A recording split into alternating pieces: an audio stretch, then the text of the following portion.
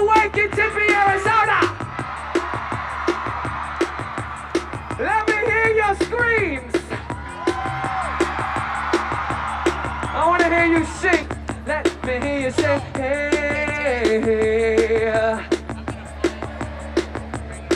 Say, ooh.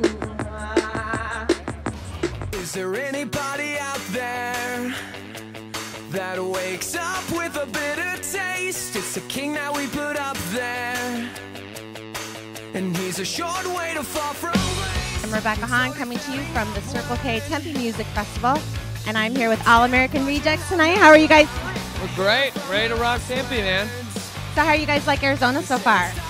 It's great. Yeah, yeah, no, it's uh luckily we've been here for about four days, so we've been able to get used to the chapped lips and chapped skin and chapped everything.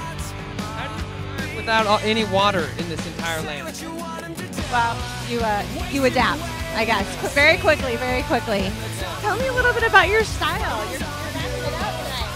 We uh we're not we, we're called Look at Me Rock and Roll. That's what this style is. Look at me. I want. So, are you guys on tour right now? Uh, promoting our new single, The Wind Blows. Uh, coming off uh, some crazy momentum of uh, our song Gives You Hell. And uh, we're doing a tour called the I Want to Rock Tour with uh, Shiny Toy Guns, who played today. And just going to go tear it up and rip the U.S. a new one. So, it'll. And where are you headed next?